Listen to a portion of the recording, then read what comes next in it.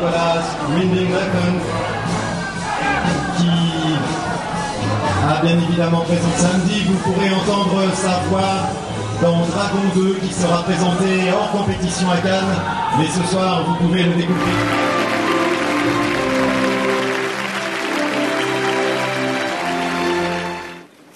I love this festival.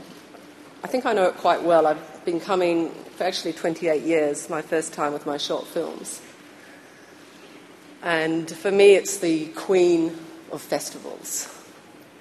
I think it's exciting because it's soulful and it's daring.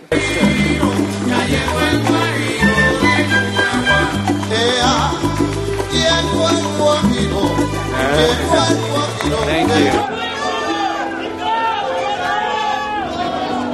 you.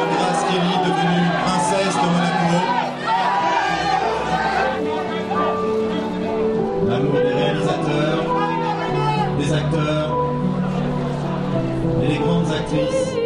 Long after the house of Grimaldi has fallen, the world is going to remember your name, Your Highness.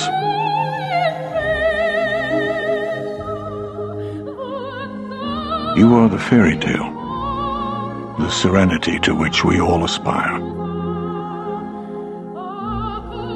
And peace will come when you embrace the roles you have been destined to play. For no matter where you are, in years to come,